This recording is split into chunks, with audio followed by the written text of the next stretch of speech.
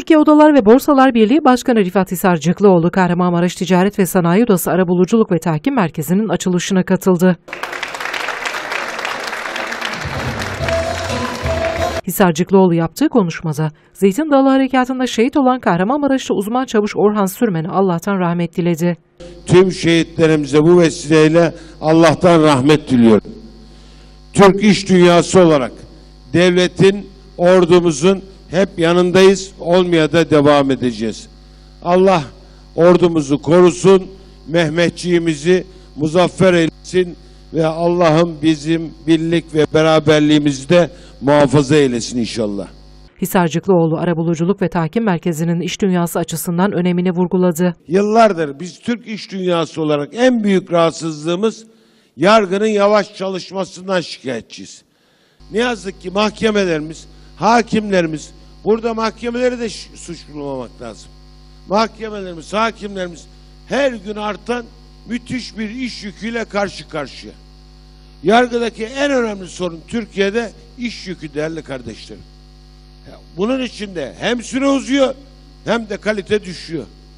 Adalet çok güzel bir söz var. Adalet doğru ve zamanında tecelli etmeyince adalet olan sisteme olan güven de azalıyor maalesef.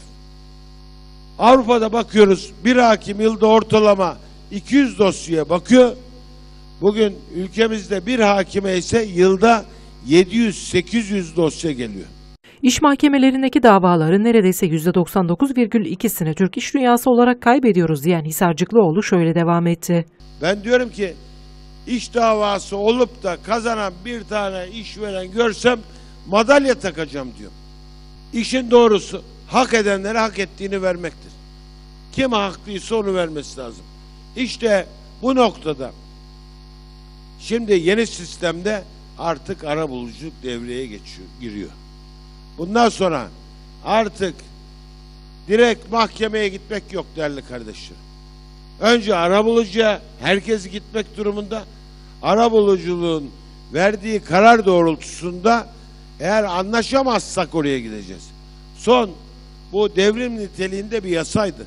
Aslında meclisimizdeki siyasi partilere, hükümetimize teşekkür ediyoruz. Ama değerli kardeşlerim üzüldüğüm şey şu. Bunun kökü bizde şu anda şu arabuluculuğun biliyor musunuz? Ailelik kültürünün özü ne? İki esnaf anlaşamayınca ahi baba anlaştırıyor. Biz bunu terk ettik. Kendi kültürümüzü terk ettik.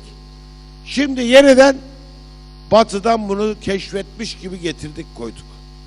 Aslında bizim özümüzde. Bizden batıya gitti. Şimdi batıdan tekrar bize geliyor.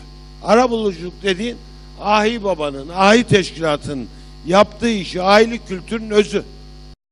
Hisarcıklıoğlu iş dünyası olarak bu tür alternatif çözümlerin Türkiye'de de olmasını yıllardır hayal ettiklerini ve istediklerini dile getirerek Adalet Bakanlığı'nın bu işi sahiplenmesiyle nihayet Türkiye'nin de hukuk sistemine girdiğini söyledi. bakanımıza ve tüm adalet teşkilatımıza bu önemli reformu hayata geçirdikleri için buradan teşekkür ediyorum değerli kardeşlerim. Biz arabuluculuğa, adalete hızlı erişim olarak görüyoruz. Mahkemelerimizin iş yükü azalacak. İlk rakamlarda da biz bunu görüyoruz. İlk 3 ay itibariyle mahkemeye düşmeden dosyaların yüzde yetmişi arabulucular vasıtasıyla çözülmüş.